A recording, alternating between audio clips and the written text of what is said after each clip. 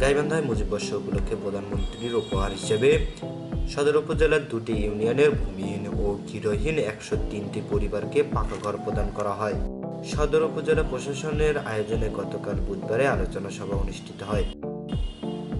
অনুষ্ঠানে প্রধান অতিথি হিসেবে বক্তব্য রাখেন জাতীয় সংসদের হুইপ ও গাইবান্ধা সদর দুই আসনের সংসদ সদস্য মাহবুবারা বেগম গিনি এমপি।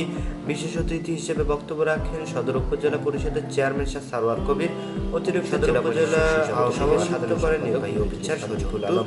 সঞ্চালনা করেন সদর উপজেলা প্রকল্প বাস্তবায়ন কর্মকর্তা আনিসুর রহমান। সদর উপজেলার একশো তিনটি ভূমিহীন গৃহহীন পরিবারের স্বামী ও স্ত্রীকে জমি ও ঘরের কবুলিয়াত, নামজারি ঘরের চাবি অন্যান্য কাগজপত্র হস্তান্তর করা হয়। এই করোনার প্রতিকূলতার মধ্যেও অর্থনীতিকে তিনি আমাদের এত আঠারো কোটি মানুষকে খাইয়ে পড়িয়ে নিয়ে এগিয়ে নিয়ে চলেছে তার কাছে আসলে কিছুই অসম্ভব না। আমাদের এই দেশ দুই হাজার একচল্লিশ সালে উন্নত বিশ্ব হবে, এটার ব্যাপারে আমরা পুরোপুরি নিশ্চিত এবং এটা নিশ্চিত যে কোনো এই যে যারা ভালো লাগছে।